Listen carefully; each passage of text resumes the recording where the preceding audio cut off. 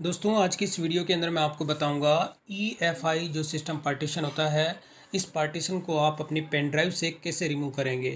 तो ई एफ़ आई जो system partition होता है, इसकी ई एफ़ आई की फुल फॉर्म होती है एक्सटेंसिबल फर्मवेयर इंटरफेस अब ये जो पार्टीशन होता है, ये आपकी जो पेन ड्राइव होती है, जिसको आप बूटेबल बनाते हैं या बूटेबल जो आप चाहे विंडोज़ के लिए बूटेबल उसको बनाते हैं और इसके साथ ही अगर आप मैक का जो होता है, यानी कि एप्पल के जो मैकबुक होते हैं, उनके लिए भी अगर कोई पेन ड्राइव आप बूटेबल क्रिएट करते हैं तो उस केस में एक पार्टीशन क्रिएट होता है और वही पार्टीशन जो है कहलाता है E F I system partition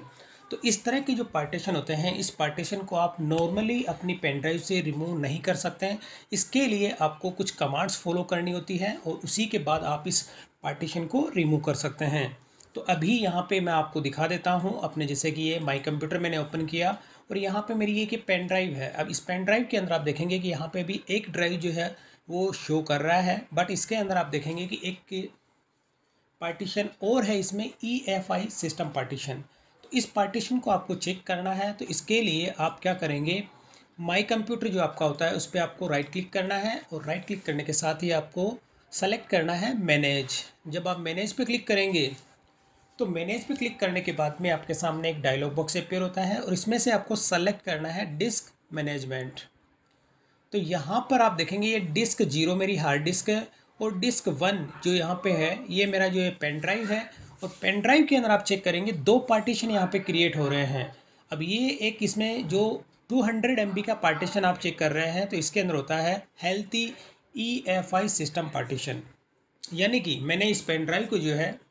bootable create किया था और बूटेबल क्रिएट करने के बाद में इसमें जो है दो पार्टीशन क्रिएट हो जाते हैं। एक मेरा E F I system partition है और सेकंड मेरा जो बेसिक डाटा का होता है, वो पार्टीशन है। अब इसमें से अगर आप ये जो आपका ई एफ़ आई पार्टीशन है, इस पार्टीशन को आप डिलीट करना चाहते हैं तो जब आप इस पर राइट क्लिक करते हैं सेलेक्ट करने के साथ ही तो आपको देखेंगे सारे के सारे ऑप्शन आपके डिसेबल हैं। तो यहाँ से आप इस पार्टीशन को डायरेक्टली डिलीट नहीं कर सकते हैं और किसी भी तरह के कोई भी चेंजेज आप इसके अंदर नहीं कर सकते हैं। अब ये सेकंड नंबर का जो आपका पार्टीशन है, इस पार्टीशन को सेलेक्ट करके जब आप राइट क्लिक करते हैं तो ये कुछ सारे ऑप्शन इसमें आप देखेंगे कि ये इनेबल है। तो इस वाले जो पार्टीशन है आपका E F I system partition है, इस पार्टीशन को आपको डिलीट करना है। तो डिलीट करने के लिए आप क्या करेंगे? विंडो की के साथ में आपको आर प्रेस करना है। जैसे विंडो की और आर और यहाँ पे आपको टाइप करना है C M D C M D और फिर आपको एंटर की प्रेस करना है। तो जैसे ही आप एंटर की प्रेस करेंगे तो यहाँ पे आपका डोस की जो ये कमांड प्रॉम्प्ट है, वो अपेयर हो जाती है। और इसमें आपको टाइप करना है disk part. D I S K P A R T और आपको जब डिस्क पार्ट आप सेलेक्ट करते हैं तो एक आपकी नई विंडो जो है कमांड प्रॉम्प्ट की, वो ओपन हो जाती है। और यहाँ पर आपको कमांड टाइप करनी है लिस्ट डिस्क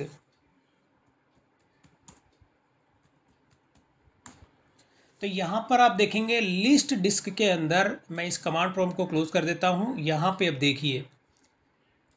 पूरी लिस्ट है, यहाँ पे देखिए डिस्क ज़ीरो ये मेरी हार्ड डिस्क है। जो इसका जो स्पेस ये यहाँ पे दिखा रहा है और डिस्क ज़ीरो वन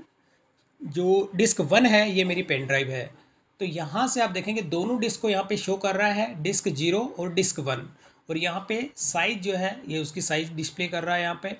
अब यहाँ पर आपको क्या करना है, इसमें से जो भी आपकी डिस्क होती है, यानी कि मेरी डिस्क वन जो है, ये मेरा यूएसबी पेन ड्राइव है। तो मैं अब इसमें से सेलेक्ट करूँगा डिस्क वन तो इसके लिए आपको यहाँ पे कमांड टाइप करनी है सेलेक्ट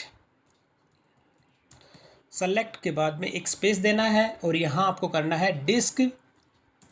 डिस्क वन फिर आपको एक स्पेस देना है। मतलब सेलेक्ट के बाद एक स्पेस फिर डिस्क फिर स्पेस और फिर आपको वन फिर आपको करना है एंटर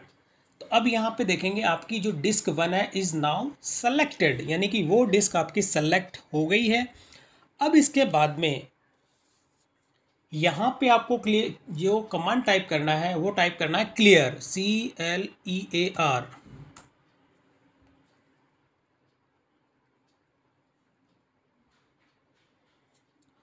और इसमें clean C L E A N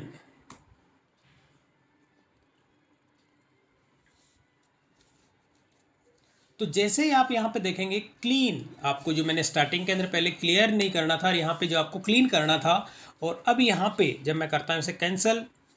और मैंने एक कमांड यहाँ टाइप की थी क्लीन यानी क्लियर नहीं करना था आपको क्लीन कमांड जो है वो आपको टाइप करनी है, और यहाँ पे आप देखेंगे कि पूरी डिस्क का जो पार्ट था सक्सेसफुली जो यहाँ से क्लीन हो चुका है। तो अब यहाँ पर आप देखेंगे, अब ये जो पूरा जो पार्टीशन था, यानी कि एक पार्टीशन यहाँ आ गया है और सेकंड वाला जो पार्टीशन था, यानी कि जो ई एफ़ आई पार्टीशन था, वो पार्टीशन इसमें से डिलीट हो गया है। तो इस तरह से आप अपने पेन ड्राइव का जो E F I system partition होता है, उस पार्टीशन को आप रिमूव कर सकते हैं। आपका रिमूव हो जाएगा। तो दोस्तों, अगर वीडियो पसंद आए तो इसे लाइक और शेयर ज़रूर करें और मेरे चैनल को सब्सक्राइब करना ना भूलें।